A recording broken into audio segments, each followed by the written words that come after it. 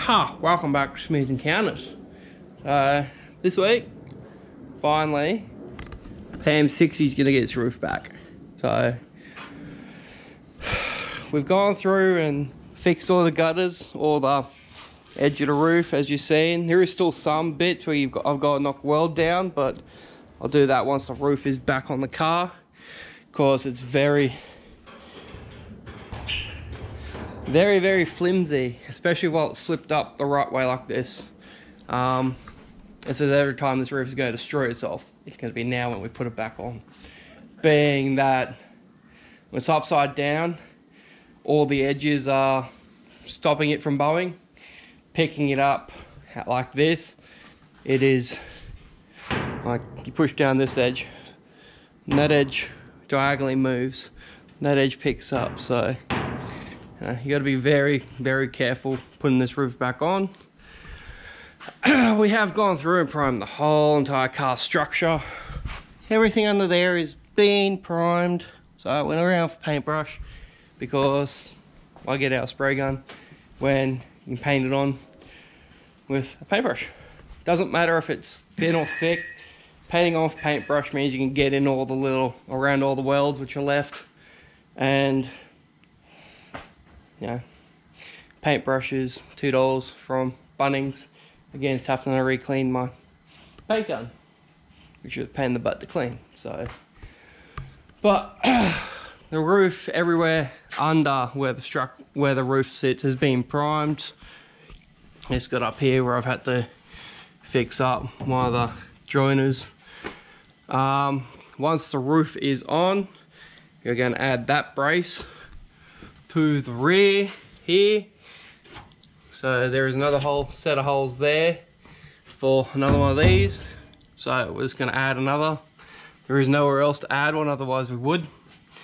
So I'm going to put another one of these ones at the back here. And hopefully it's the right size. Um, so here we go. Yeah.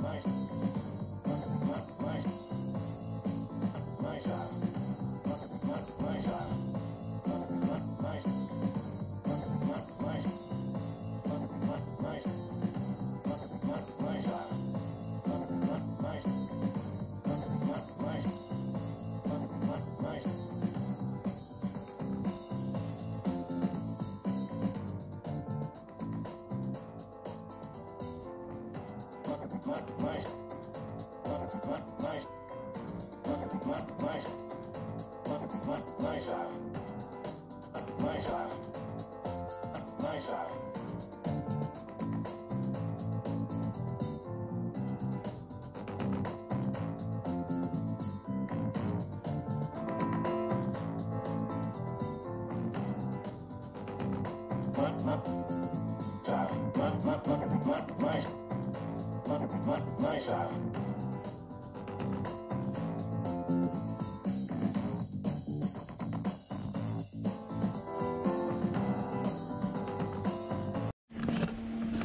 So as I thought, this uh, the driver's side is fighting me because of all the patches what got put in.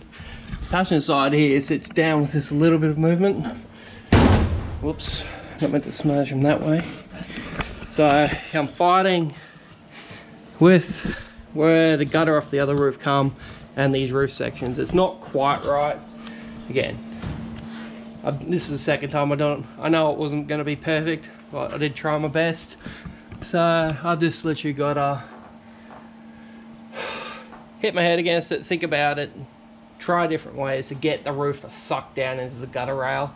At the moment I'm using one of my clamps with actually the release pin for a hitch because that can't get in and flipping it over it can't get in and get enough pressure on the roof section to get it into the gutter so I'm doing it that way and then just massaging it where with the hammer ever so slightly where it's needed just to get the edge to go back down.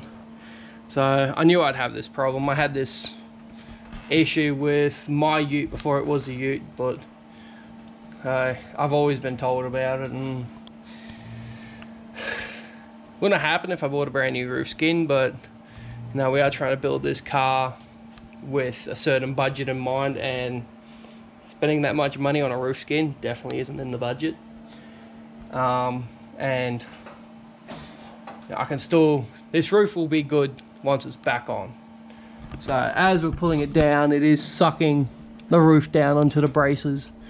Um, I did forget to go through and put tape on the braces because they they had a double-sided tape or a foam on them um, when I get to that I'll actually put I won't put I probably should put a tape there because the tape has a little bit of expansion and contraction against putting like body sealer.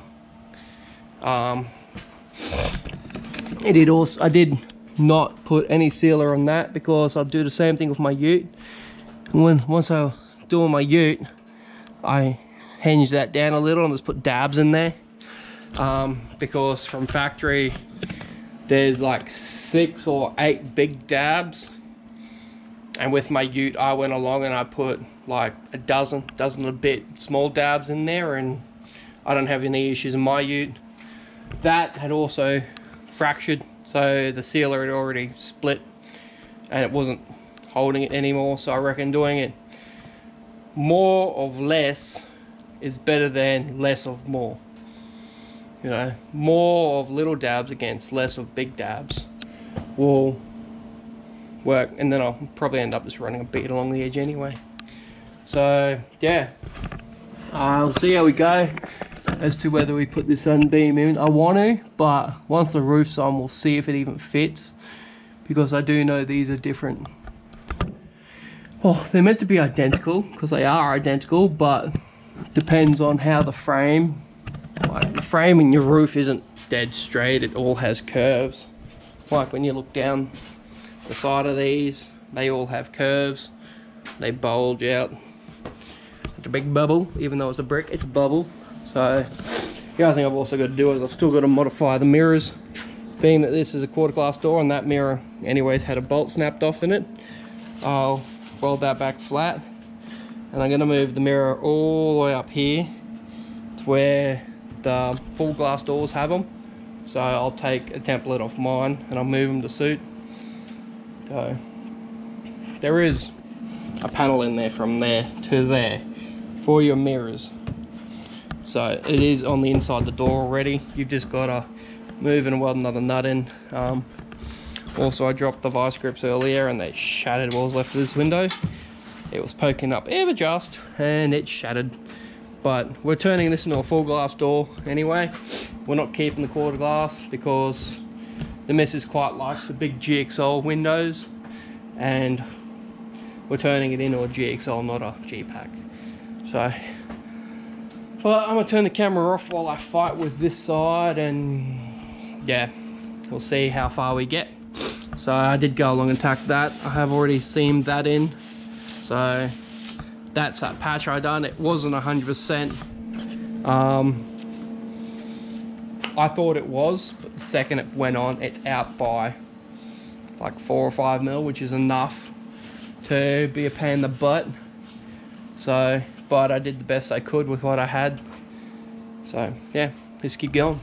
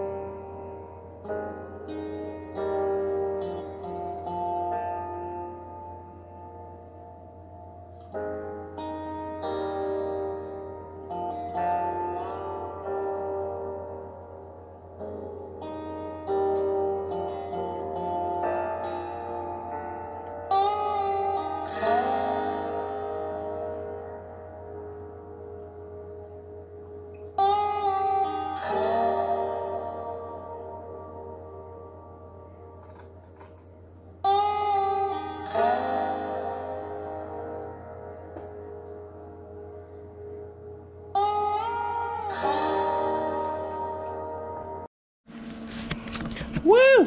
So that's that done. Um, roof is pretty much on.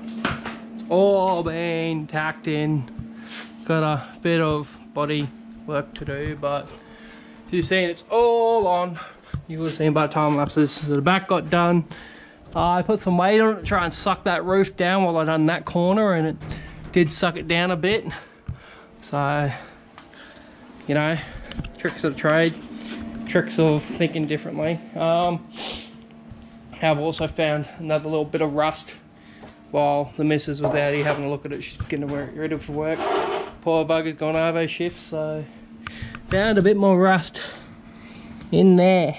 So that's gonna be fun. Um, yeah, it's pretty much like right there, but it's only just starting. So I've got a screwdriver, a flathead I can get in there. I can knock the rust off and I will hit it with uh, phos phosphoric acid.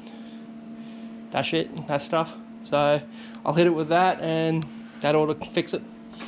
But, you know, all that needs to be resealed anyway. But there is only one speck like right there. Um, there's a hole there as well. But then we got a little patch there, which I'll just put a plate alloy on the back and I'll weld that back up. And then there the other holes are going to fix. Two holes there. And just a hole here in the rear, which I'll literally, right there, I'll cut out and I'll plate and I'll stitch that back in. And then in the rear here, we've just got section there I gotta fix, which is easy. And same on the other side, just there, the section was lost. Apart from that, love the sound of a bar door slam. Uh, all this, our next meet is in March for, no, January for Land Cruisers. Uh, also, also got a trip in March with the missus. So we got a little bit coming up. Um, but just get this time, this stuff done. We're also almost out of gas, so there's like not much left in her. So I might actually go get a swap and go, swap and go bottle again. Um, I think I'd done a bottle when I was building my Bowick. So you go through it kind of quick, but not quick. But anyway, that'll be enough for this video. Don't forget to like and subscribe. If you're still here, cheers. Uh, if you made it this far in the video, that is. So, yeah. It isn't the most interesting stuff, but, you know, not every day you see a four-wheel drive roof come off and go back on. I know it is a fair few videos between coming off and going back on, but if I was to do it all in one video, like that roof's been off for three weeks, three, three and a half weeks. Um, yeah, so if I was to do all of it in one video, it'd be a hell of a long video. You wouldn't really see anything of everything because there'd be that much different stuff going on, like taking the roof off, fixing it, putting it back on. It's three to four weeks. And if I was to do that in one video, you wouldn't see a video every week. So yeah, thanks for watching. Catch you on the next one. Yeah.